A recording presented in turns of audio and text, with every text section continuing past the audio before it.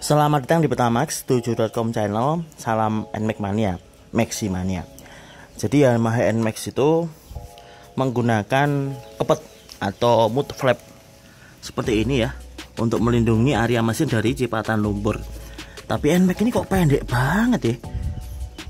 Pendek dan rasanya kok kurang efektif ya. Ini rasanya pendek padahal melindungi ini nih dinamo starter atau motor starternya tapi kurang panjang.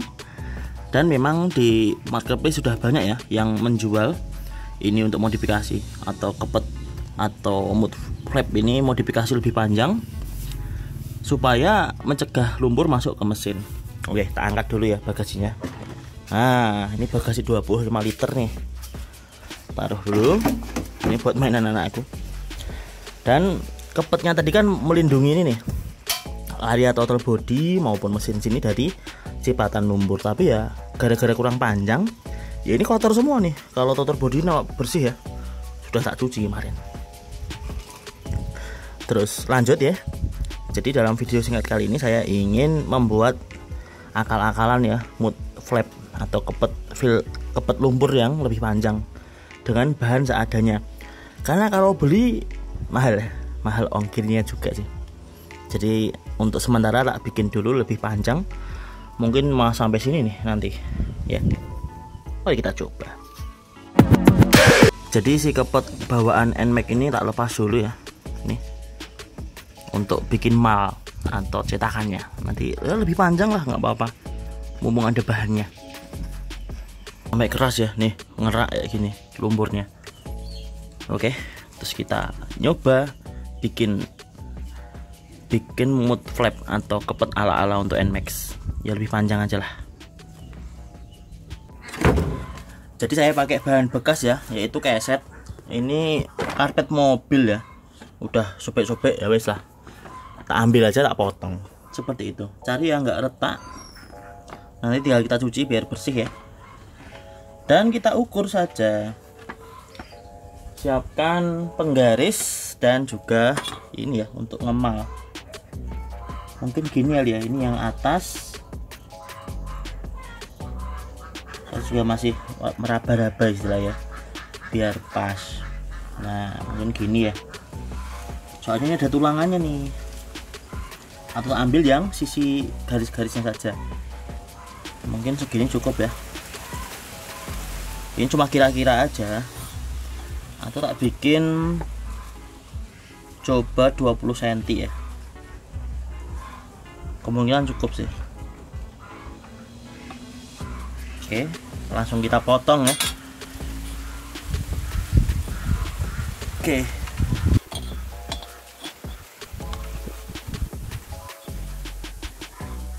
Kita potong saja.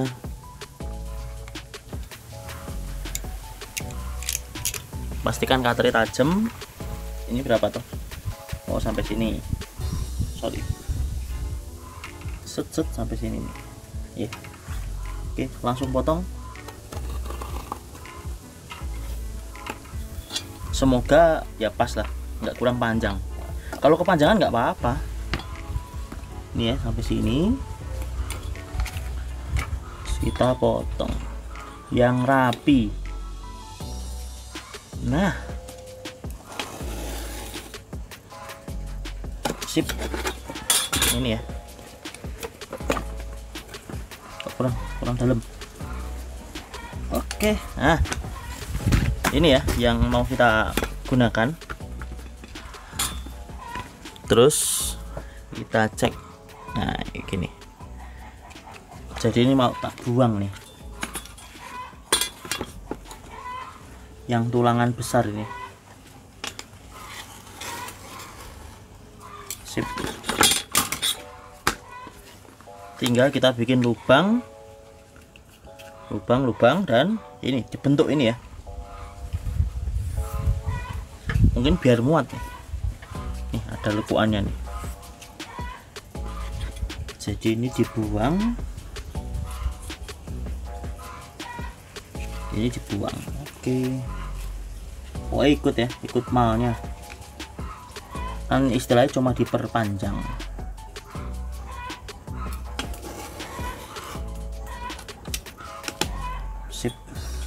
cari juga.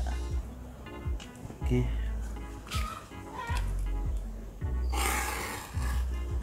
Sip. Nah. Gini ya. Oke. Terus kita bentuk saja. Belum nih bentuknya yang agak rumit. Segitiga lah. Oke.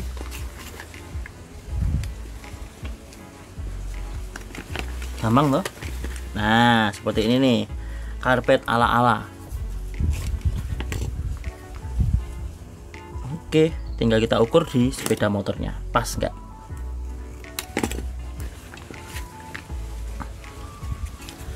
sekalian ya bikin lubang lebih baik pakai bur. Tapi saya nggak punya bur ya. Saya punyanya itu. Oh ya paku tak kasih api aja ya.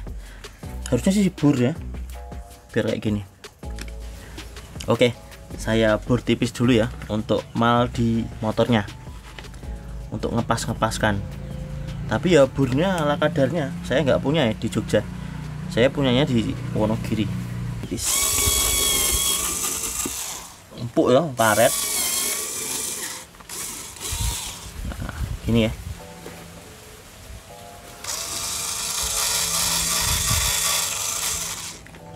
Dipas-paskan lah. Lumayan. Namanya juga kalah-kalah ya oke kita coba pasang di motornya saatnya dipasang ya. Ini dikerik dikit pakai cutter biar pas. Kita coba. Nah seperti ini. Masangnya ya tinggal klik klik. Dah. Yang sono tuh gimana tuh? Sebelah kiri berarti gini ya sama gampang. Tinggal diklik. Seperti itu. Klik. Nah hasilnya gimana mas? Oke ya udah ada garis-garisnya itu untuk jalur air memang niatnya. Dan kita lihat kepanjangan atau tidak. Dan ternyata kepanjangan pakai banget Ade. Nih sampai roda di sini ya. Nih terlalu panjang memang tapi nggak apa-apa ya. Namanya juga usaha untuk melindungi air supaya tidak langsung masuk mesin ya. Lumayan. Hemat bro. Pakai bahan bekas. Tapi nanti lama-lama akan habis ya yang bersinggungan dengan ban itu. Karena ini karet ya ketemu karet dan kemungkinan akan habis tuh atau cari amannya ya kita potong. Aku masih meraba-raba ya masih ngepas ngepas ke. Ini panjang banget ya itu sampai situ tuh. Ya oh. Oke. Tak cuci dulu ya untuk karetnya supaya bersih. Overall udah udah suka oh, lihatnya Oke mungkin sini nabrak ya. Gak apa. Penasaran ya? Nanti habisnya yang mana nih? Karena itu bersinggungan langsung tuh Nempel. Mengingat ini banku abses ya 150 Gede banget ini. 150 per 70 strip 13 jadi lebarnya 150 mm atau 15 cm tingginya 70% dari 150 dan strip 13 strip berarti dia ban bias 13 inci ringnya. M garis miring C berarti motorcycle.